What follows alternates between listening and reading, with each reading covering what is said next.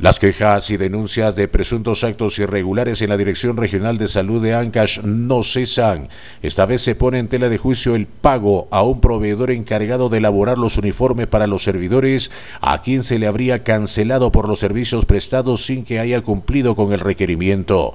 Al respecto, el titular regional del sector dijo que no es como se viene denunciando públicamente, manifestando que se ha seguido con todo el proceso o procedimiento y ante el incumplimiento del proveedor se han aplicado las penalidades. Hay un informe del órgano de control interno de la Contraloría, de la misma Dirección Regional de Salud, respecto a ese informe y en área de la transparencia, ese presupuesto viene ya históricamente de la Dirección Regional de Salud para exclusivamente la adquisición de uniformes institucionales para el personal bajo el decreto objetivo 276. En esos extremos, la DIRES ha hecho los procesos que corresponden.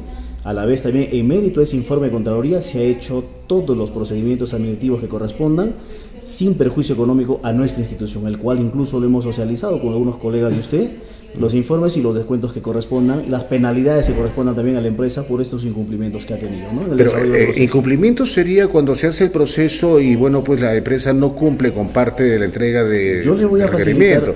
porque, porque se habla de que se le ha cancelado y que no ha cumplido. No, no, no, a ver, vamos por partes. A eso es lo que voy, por eso voy a la fuente. Yo le voy a hacer, yo le voy a hacer este, entrega en estos momentos de los informes de área de logística, administración y economía, en la cual se ha procedido conforme a ley haciendo todos los descuentos que correspondan, todas las penalidades que correspondan en mérito a los incumplimientos que ha tenido la empresa que ha proveído de estos uniformes. Por ningún extremo nosotros vamos a permitir que se, se, permitan actos irregulares dentro de la Dirección Regional de Salud de Ancash. ¿No es cierto que se le haya pagado cancelado? por supuesto que no. Se ha cancelado lo que corresponde y lo que no, se ha cobrado las penalidades que correspondan. ¿Cuáles son las penalidades que se están imponiendo? Ahí voy a precisar en el informe, obviamente, son las entregas, eh, los plazos, de, más que los plazos de entrega, sino había un sinnúmero de compañeros de trabajo que no se han medido sus, sus tallas para que se pueda hacer entrega de esos uniformes, se haber entregado eh, las tallas que ha correspondido, los colores que ellos han estimado por conveniente.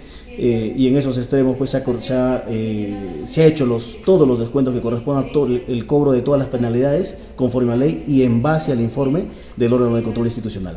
De otro lado, se refirió a la provisión de medicinas a las redes de salud y establecimientos hospitalarios, anunciando que se buscan otros mecanismos de compras para que las medicinas no lleguen a su destino ya vencidas como en años anteriores, por lo que se van a desligar del Cenares que demora en la adquisición y distribución. Acaba de llegar a la Dirección Regional de Salud y a las redes de salud eh, algunos cargamentos por parte de Cenares que viene cumpliendo con el retraso de abastecimiento que debimos haber tenido en el año 2023 eh, con eso vamos a poder paliar este, al menos este, esta deficiencia de medicamentos, pero sin embargo también estamos el 7 de este mes, eh, estamos cocinándonos a la ciudad de Lima con el señor gobernador a hacer ya los detalles finales del, convenio con el Seguro que este año nosotros estamos proponiendo como región un convenio mucho más amigable que realmente le sirva a la población, ya que el CIS es el 100% de la fuente de financiamiento en el primer nivel de pensión Ahora el CIS va a romper muchos candados en la cual la población va a poder tener acceso ya a los servicios de salud como corresponde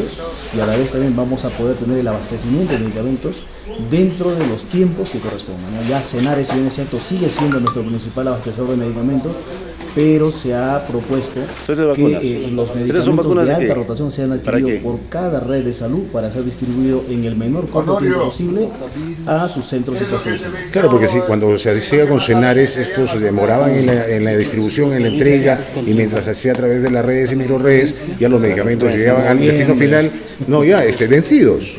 Correcto. Y a la vez también quiero precisarle que estamos haciendo el estudio de mercado de las 36 toneladas de, medicamentos vencidos, en la cual se alquila incluso un local. Hemos ordenado ya la área administrativa en la cual están haciendo el mercado para darle el destino final. Al plazo de 15 días a 20 días deberíamos tener ya eh, eh, acciones inmediatas para darle destino final. Eh, la incineración en realidad por parte de la empresa, la EPS que se vaya a contratar, para no tener más medicamentos vencidos y menos aún este, donde se viene pagando pues un alquiler por muchos años atrás. ¿Se han encontrado, eh, digamos, responsabilidades en estas medicinas? porque se abrió una investigación. Sí, correcto. En mérito a la denuncia, el Ministerio Público ya nos ha notificado formalmente el archivamiento definitivo del, de este caso en la cual no se han evidenciado responsables y en ese mérito nosotros estamos procediendo ya con el destino final de todo este lote de 26 toneladas de medicamentos.